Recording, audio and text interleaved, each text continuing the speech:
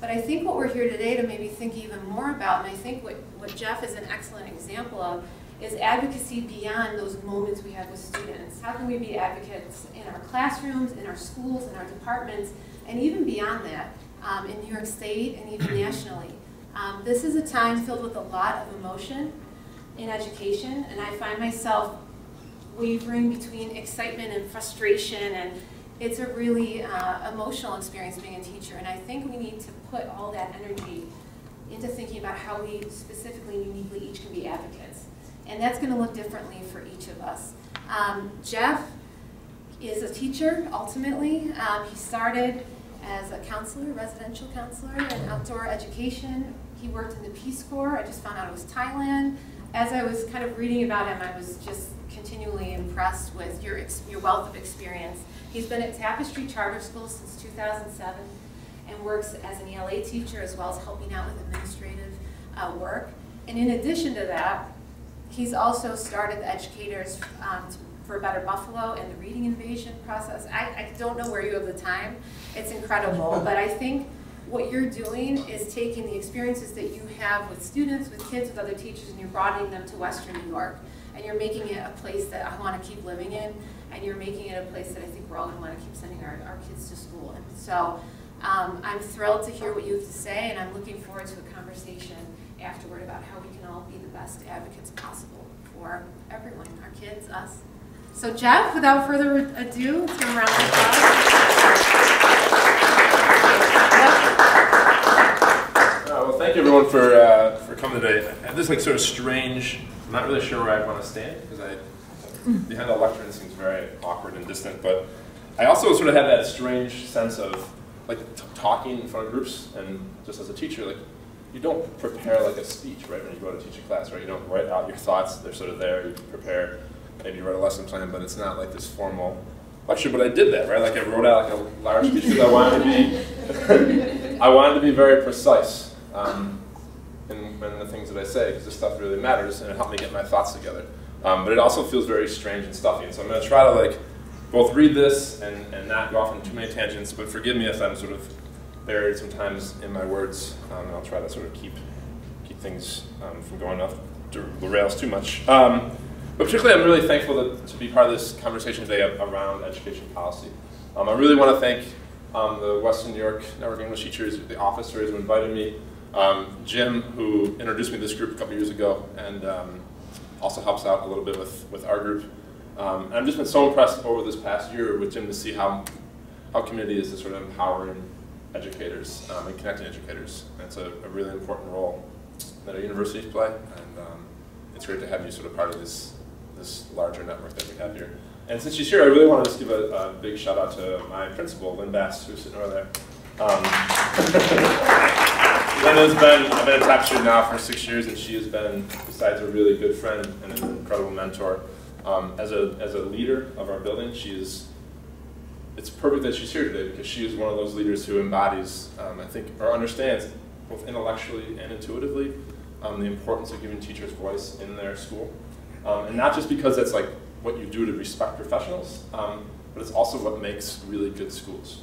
And um, it's been such an incredible sort of journey to be at Tapestry for six years and, and feeling that, understanding the, the, the benefit of, of that, not just because you know, you're supposed to, but because it's really the best policy uh, to have teachers as a part of that. And so um, I also really want to thank um, all of you here today for this opportunity to sort of talk through um, this really important issue. Um, you know, there's a, there's a, I want us to sort of, one of the things I'm going to talk about today is like wrestling with this tension um, between different views of, of, education, some really, I would say, difficult issues. Um, and so I'm, I'm, looking today to have both to share some ideas with you, but also to this conversation we can have um, to try to make sense of that and just like be comfortable with those tensions and, and it's sort of advanced. Thank you for that.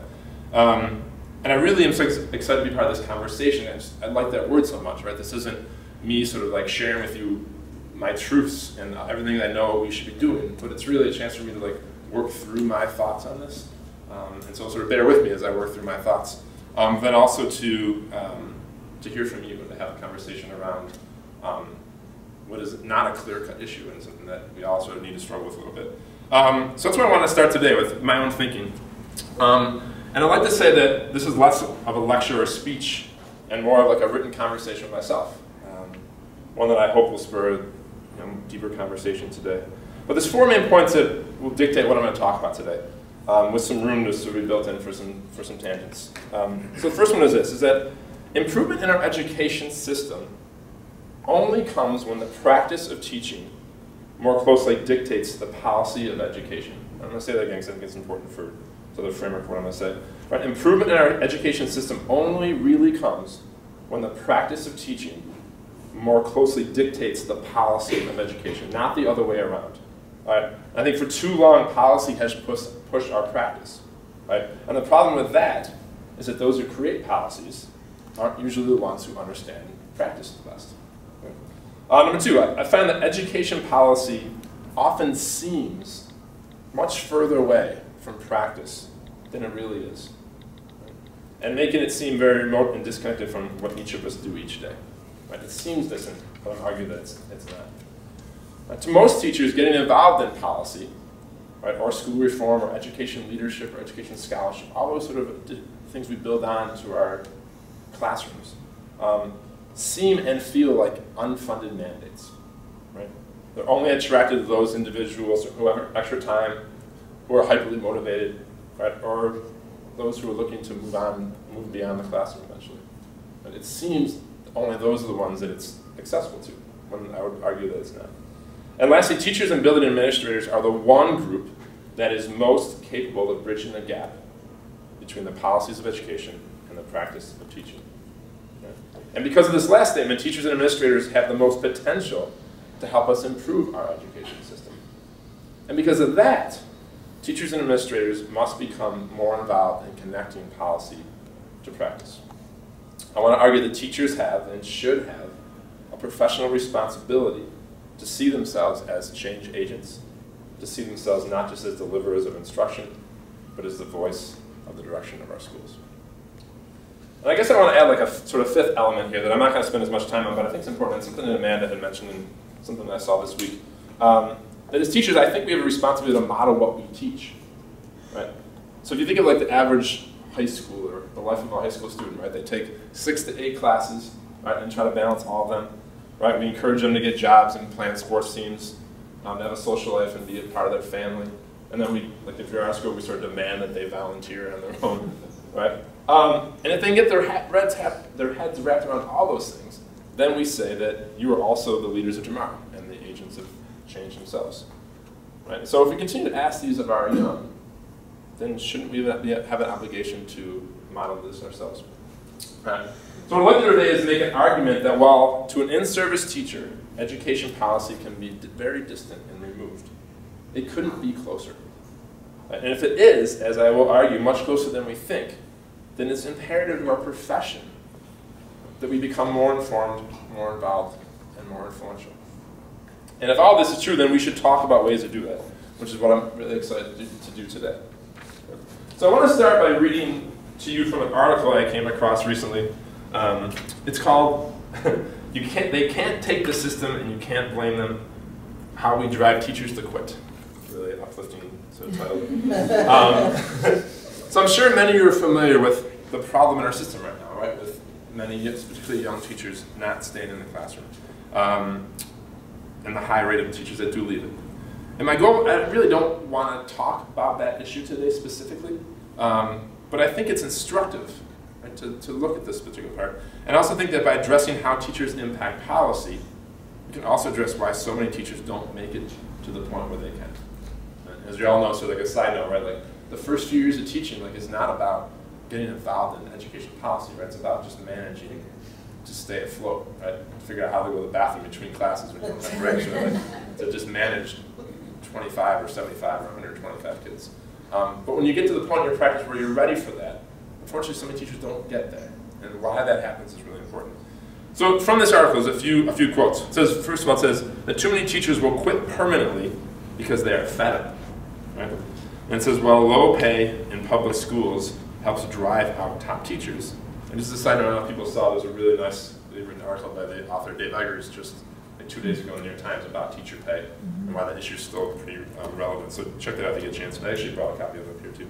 Um, It goes on to say there is another less known but deeply important factor.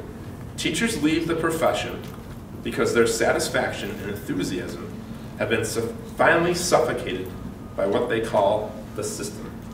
And the article goes on to say the system is comprised of, quote, know nothing school boards, this is a great way to say it, insecure, inadequate principals, doting parents, rebellious or apathetic children, and poorly trained teachers drawn from the bottom of the college educated groups.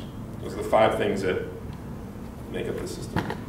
Uh, so the article also quotes from a few education experts. A guy from the federal government says, quote, many first-rate teachers go into teaching, but they aren't treated as people with enormous talent, great skill, training, or education. And a professor from the Teachers College at Columbia says, quote, the most important problem in education is to get everybody to recognize that teaching really is one of the most important occupations in the country. Right? Great stuff, right? And does that resonate with you? Do you feel like it addresses your experiences and problems that we're dealing with today? Um, the article goes on to flush out each of these parts of the system, right? It talks about all five of those parts.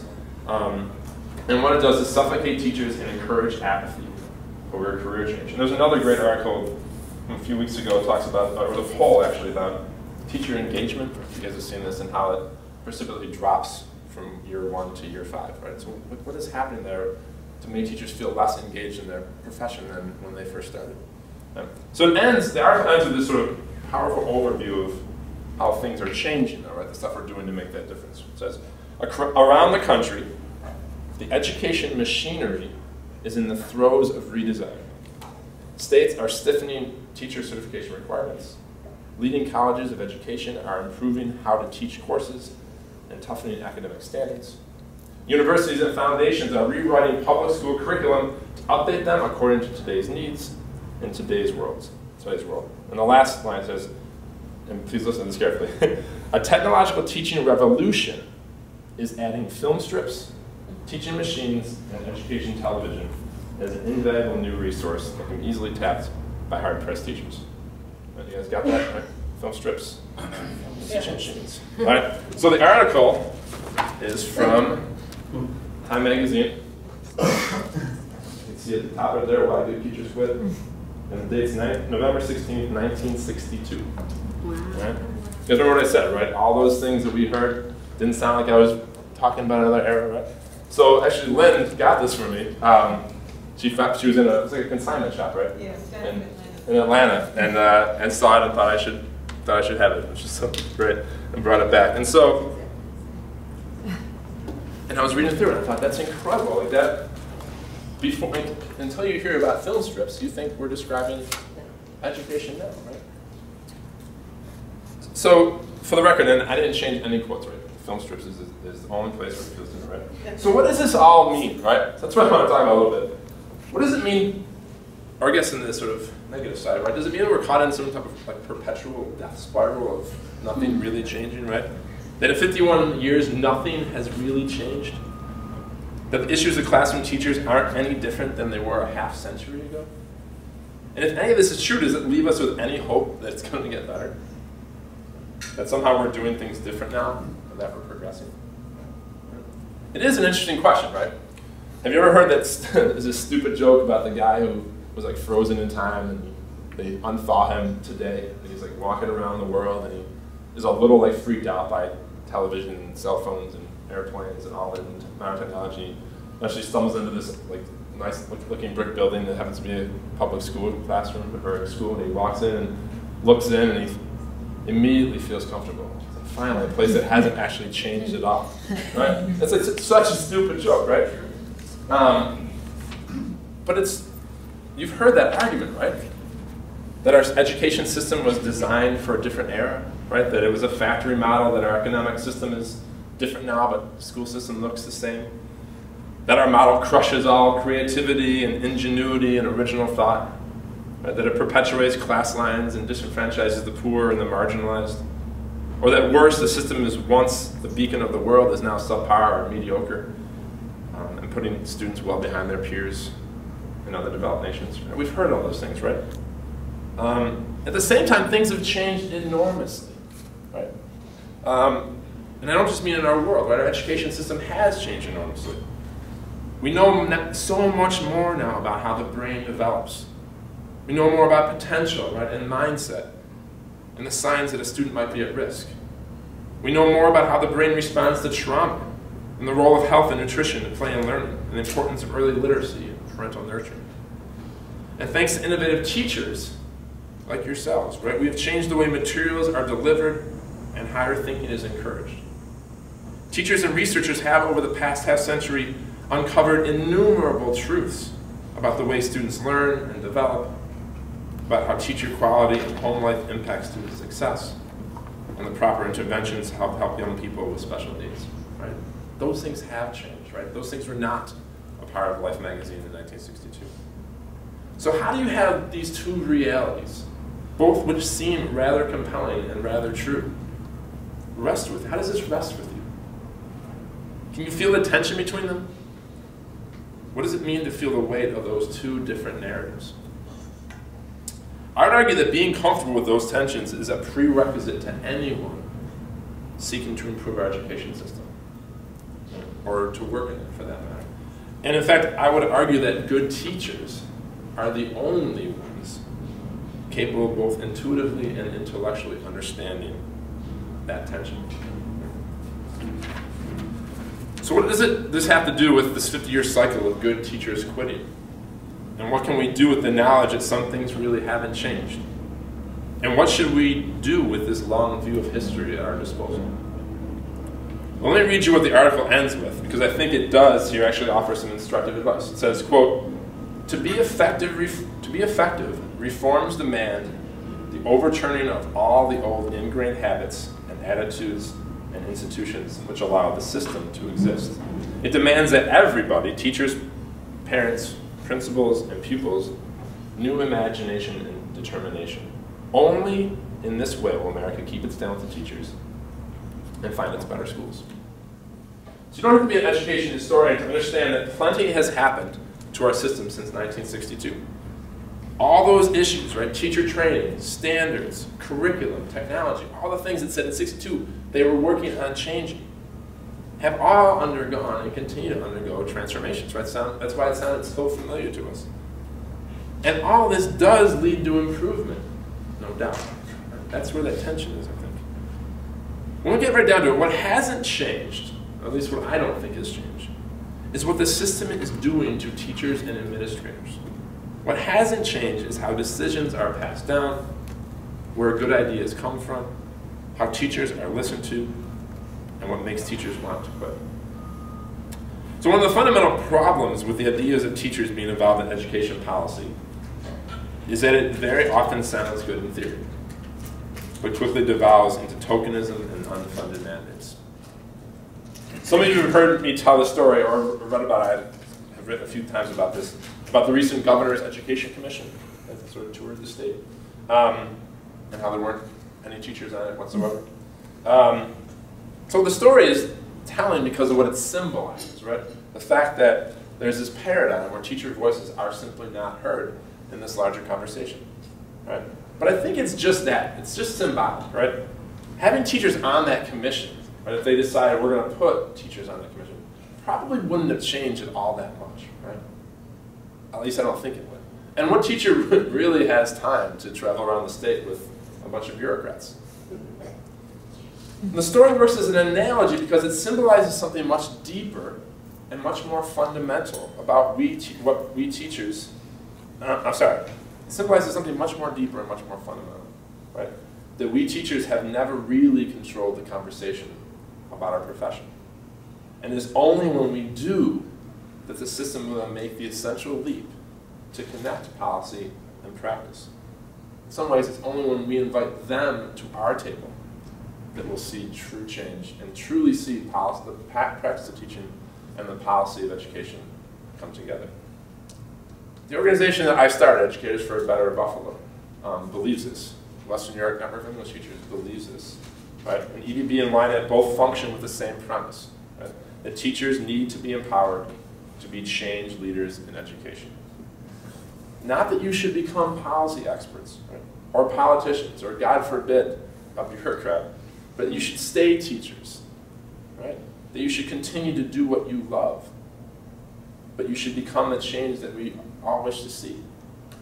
One of my struggles with my own argument is that it often feels really ambiguous and kind of devoid of like concrete things, right?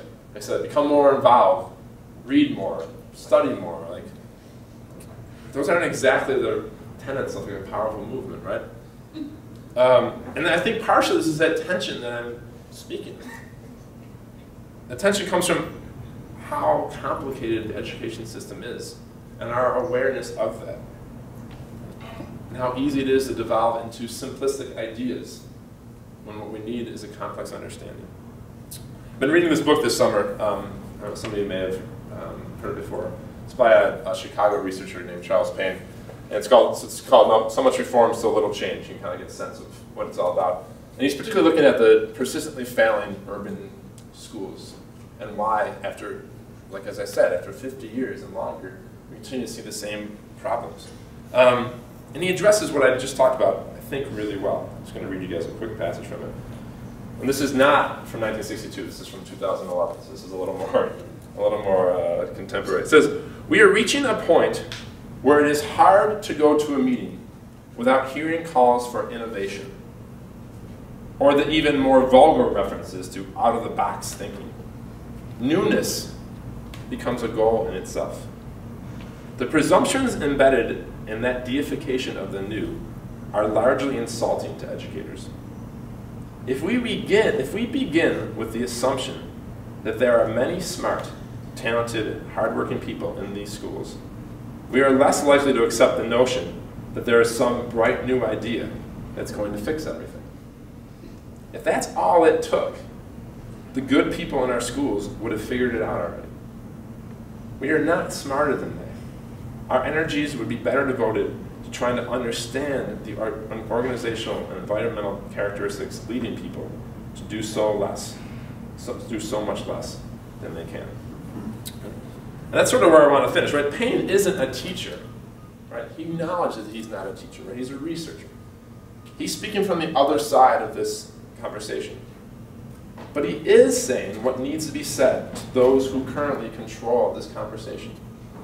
But for us, for those of us in the classroom and in school buildings, it is not enough to simply agree with what Payne is saying. For us, it is imperative that we demand to be heard, that we see our experiences and our wisdom as essential pieces in the struggle to improve our schools. For us, it is no longer just to concern ourselves with our students, but to understand our larger place in the conversation. For us, it is not enough to complain about how we are treated, how we are perceived, or how we are heard. It is enough when we see ourselves as experts, which is what we are, and demand a seat at the table. I think this is what YNET does, that's what EBB is trying to do, and that's what I hope that all of us here today can be about. Well, thank you.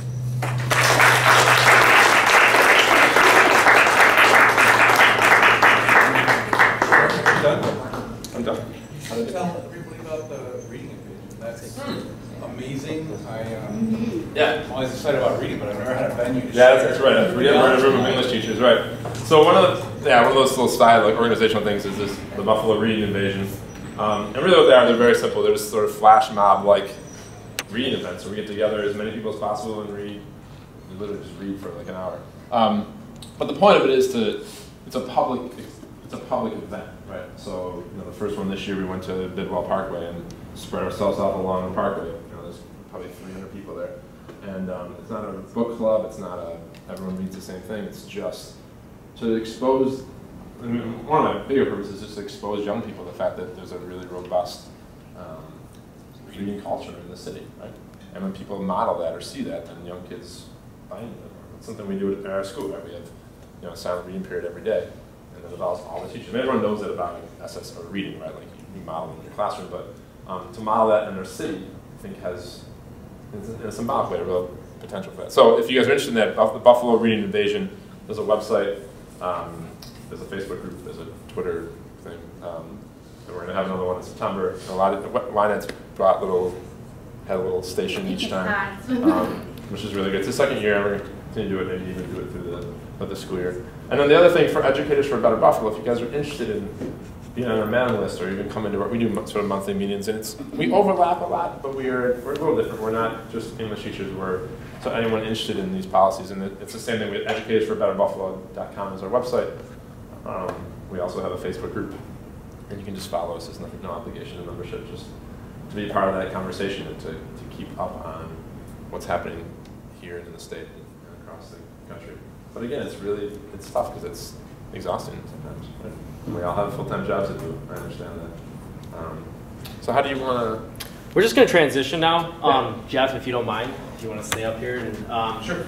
If people have questions about things Geoff talked about, or even um, more specific questions about um, different levels of agents of change, we are going to end up breaking off into smaller groups later on. But so if you want to focus maybe questions on specifically what Geoff talked about, uh, maybe the literature he brought in, and then feel free to answer. And we'll take 10 minutes or so. We'll go from there. Ricky? When, a, a quick question, maybe then a longer one. Um, when you said there was a decrease in engagement from the first year to the fifth year of teachers, is that with students or is that with the system that? The teachers within the system. Yeah, not the, not the kids themselves, but, Okay. but, but how they feel about the profession. I almost died inside. Didn't know the students. Um, and so I've done a lot of, uh, I've done a couple of research papers on uh, No Child Left Behind, under Bush, and all that, and um, I understand all the changes that it made in the system, but I never really thought about until today what it was like beforehand. Did we, uh, did this, did this system start like now it seems like it starts at the governors you're talking about, uh, much higher than the actual school. For No Child Left Behind, was it actually, you know, start at the school level, maybe the principal, um, and then the parents, you know, I, I feel like when I was in school, my mom yelled at me instead of the school when I wasn't doing well in school. It seems like there's two major changes in the way that school was when that article was written and now. Um, do you see any So I-? I mean, for one thing, when we think about some of the changes that are taking place in the system around like sort of assessments and testing and things like that, we have, those things have been around forever, right? I mean, at, at some level, not the intensity that it is now, but I mean, I think if you grew up in New York State, I'm sure we all here took Regents exams, right? There's always that sense of, I mean, think about like at its pure level, those some of those reforms, right? That testing and assessment is what we all do. Like no good teacher doesn't assess their kids, and when you really become a master, you assess your kids all the time, right? Not in a way that like sort of destroys their love of learning and takes them away from learning while they're doing it, but like that's how we give kids our kids benchmarks and how we give them feedback and how we help them assess themselves, right? Um, but what's happened is, is a fundamental change of pushing that sort of down on the system rather than I don't know if it, if it, used to percolate up. Right? There's always been a, a, a way to sort of oversee those things. I do think in some ways, I feel like it's like whole debate about the newest reforms, but I I think my sense of it is that one of the purposes of these reforms back when they started was that there was a lot of parts of our system that weren't functioning well, right? That there's there were a lot of schools that were failing a lot of kids, and I don't. It's not a bit about what, who's failing who here, but you know, if you look at our education system over the last 50 years, we've come enormously far away from where we were in the 1960s, which was still having incredible segregation in our schools, and we still do now, right? But we, but in a much more sort of official way, and a lot of kids not, a lot of kids being assumed about a lot of kids that they weren't capable of learning, and I think that the, the, the, the good intentions around some of these reforms is to try to make standards across the board so that all kids have the same opportunity. But I don't, I think the problem is it's not about those ideas, right? It's not about these good ideas, it's about where those ideas come from. I think that's what, that's why I think that our groups, to try to make it a question about what our groups can do, is that like, good ideas aren't, it's not what the system needs right now. The system needs right now is trust between all these parties, and it needs teachers to be driving those conversations, right? Like the, if you take, take apart every sort of like reform that's being pushed down, from the classroom level, we might actually agree with the concept, right?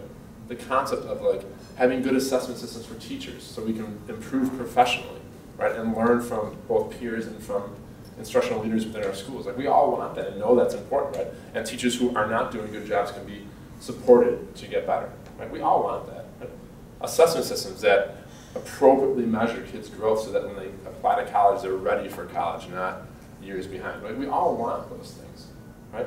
And somehow we're being sold these changes within the system right now from higher levels And there's a, a lot of teachers are very frustrated with that because of the way that they've been implemented, right? So again, this is where like to what I was trying to say earlier, like, like that the policy and practice of things, like it's good ideas, but because they're not necessarily coming from the bottom up, right? They seem they're either implemented poorly or they seem offensive to those of us who really know what's necessary. And I don't know how that exactly changes, but I think that's the that's where the conversation to me should be taking place, right? Is how do we how do we start to control that in a different way? I don't know if that helps at all. That helps.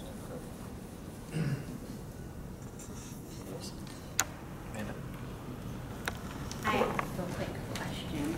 Um, I am voyeuristically monitoring the back page on Facebook right now, just kind of Yeah. taking a back seat until the craziness dies down, I guess. And some of the things are, um, somebody made a point Does the everyone other. know what Menace the Badass. Badass Teachers Association.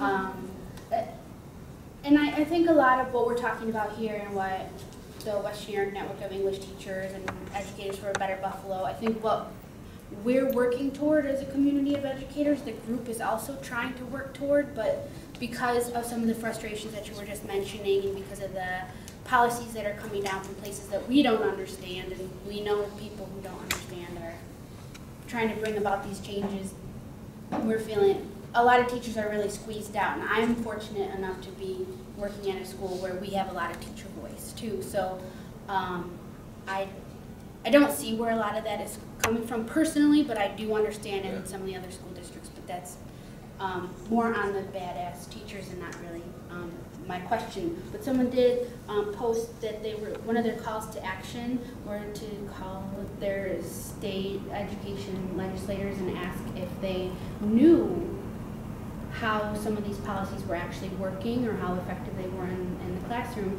And whoever they actually got hold of, and I don't know if they, it was an education person or a governor or senator or something, when maybe they were talking about the conversion chart from the last Regents exam or something. They, no one had ever sat down with them and said, look at this. There are only nine ways to get a, a mastery grade on the Regents. Look at this, there are only 18 ways that you could possibly pass the Regents in 72 ways that you could fail horribly. You know, and nobody sat down with these governors or these senators and said, look at what's going on.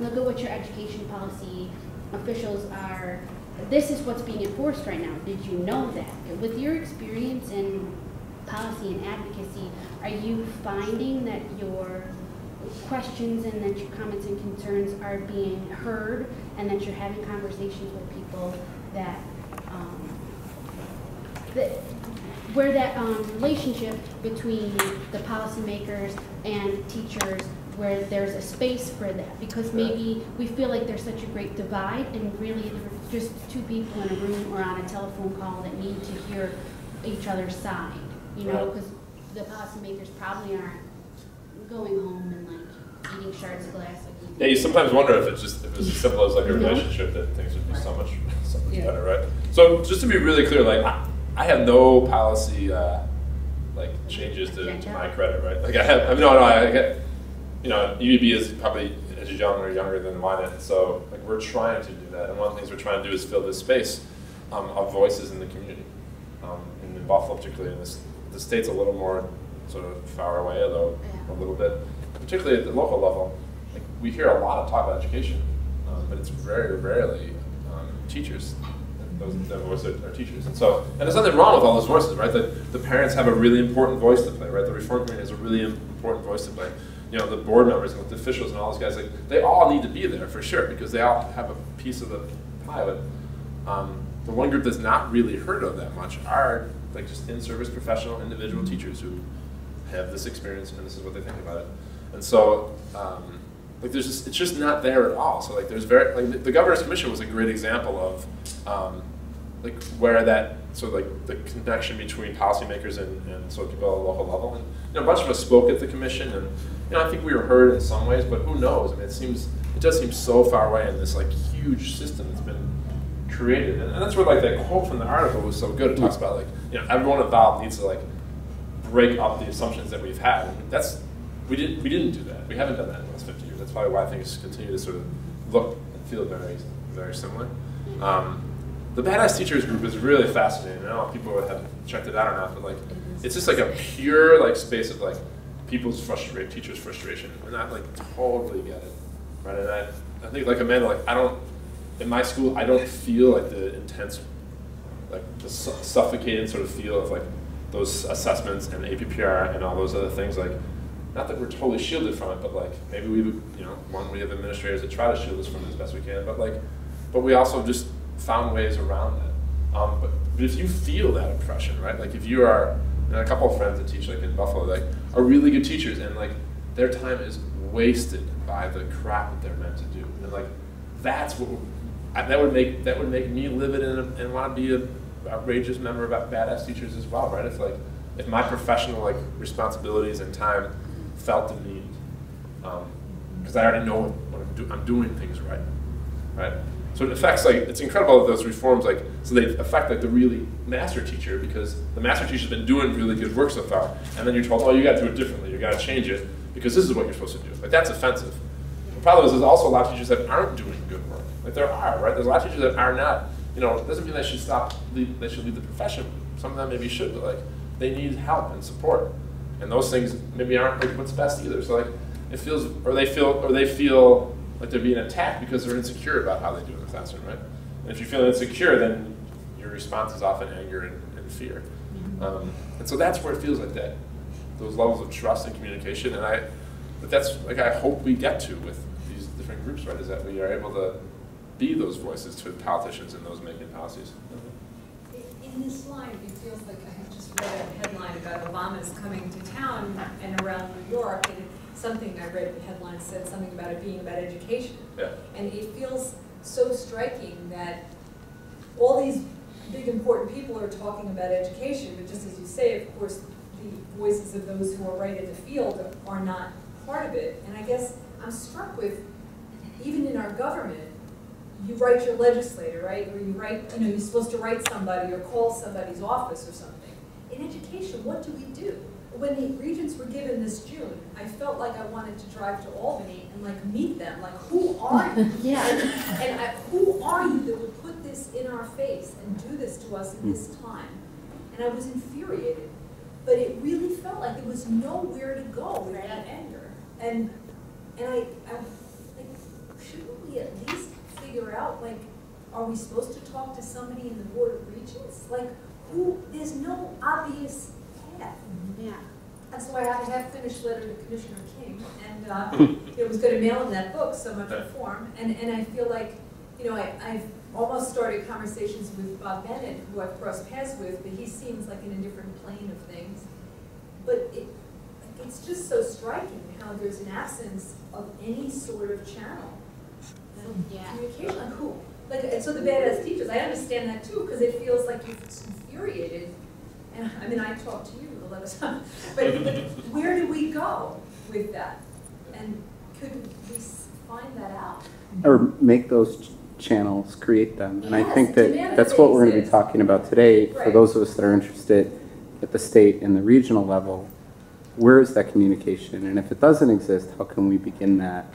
That's a really, and it's a very important point. Because felt like in the time of Sobol, when they were, pro- when they were pushing the um, site-based management, there was an acknowledgement in policy of the need for many voices.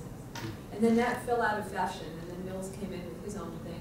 And now King, I can't figure him out. And so it feels like with King, that my wish in the letter was partly wanting to demand that you're a leader, be a, be a leader of, of a, of a collective voice in a democracy Yeah. for something good. And, and he's not, you know, it doesn't seem to me that he is. And, and so, don't we have some, like, proper place to mm-hmm. demand that we have an audience? And I understand that he didn't want to accept coming into Buffalo recently, that invitation that he got to come in about the other stuff, but it feels like, isn't there some way of creating, it feels like these people really are distant from us, like Yeah. they're, they're not available to us, but they're paid by public funds, right? So shouldn't they Yeah, be that was kind of my. responsive? There's no accountability at their end. None, none. And then they do stuff that's so hurtful and Yeah. so punishing.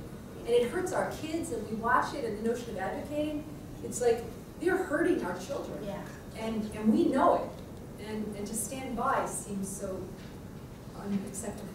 It, it feels purposefully vague. You're Yeah, so, that's so right. I mean, in June, you look for somewhere to write, you do, and it's, Right. it's, I mean, I don't wanna be too much of a conspiracy theorist, but it seems very vague. You don't know who to contact. And so we have this energy, we have this desire to question it, to fight it, but it, it- yeah, like where do we go? And I think, um, this is a great place to start thinking about.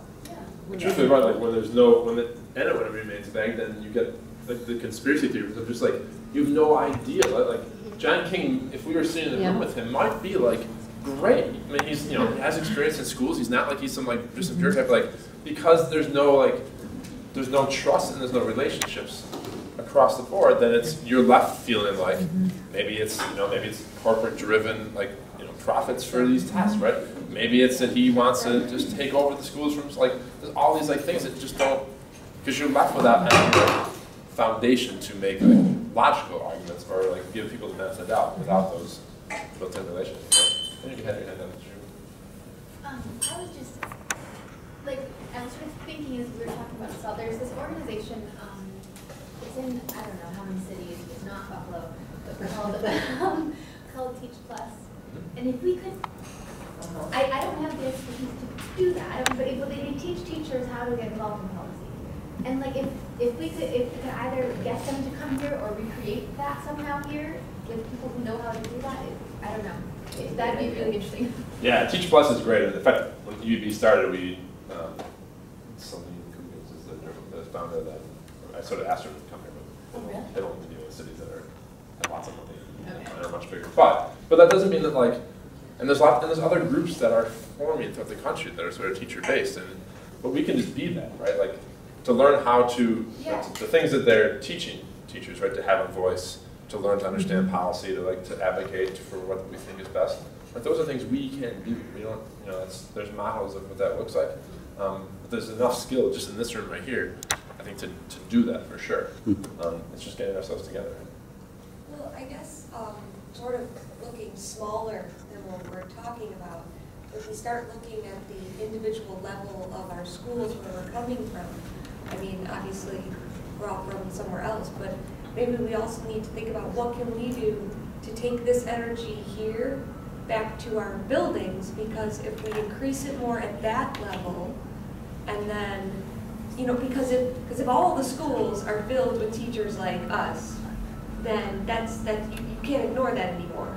But sometimes I think there's that tendency to, there's this energy here, and this is great, but then I, sometimes you go back to school, and depending on what situation you are in at your school, you might be this lonely island there.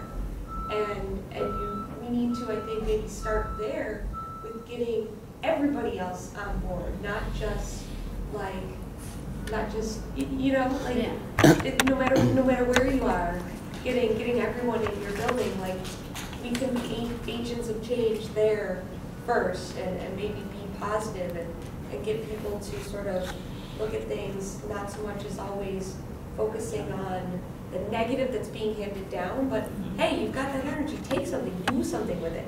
How can I, I guess as a young teacher, go to some of these teachers who I know are older and more experienced than me, and without sounding like a cocky little know-it-all, say, stop complaining and do something about it, you know, get And this is, I, I think Megan's leading in almost directly into what we're going to talk about, you know, after we take a break. This, the conversations we're having here are going to continue. It's not like we're just going to stop here. So, I mean, thank you so much, Geoff. Um, the questions were great, and I can see the conversation already starting, and that's kind of what we were hoping for. This idea of agents of change on the uh, first front level, basically, right? Classroom, you know, starting small and then moving bigger. And you know, some people have that larger scale, looking at the state, region level. Some people want to just start with their classroom, start with real small stuff. So we're going to take about a five minute break, um, go to the bathroom, those type of things. When we come back, we are going to break up into smaller groups and have these larger discussions. So folks, let's keep us strict. I know we got started late. WNYNET works on soft openings. That's our kind of time. We have this approach to time. Um, but we'll be real strict. Five minutes, grab some beverages that, and some refreshments that Amanda was nice enough to bring. The restrooms are somewhere in the building. And let's just give Geoff a really, another round of applause. All right, I gotta pause I'm gonna let you pause. I have no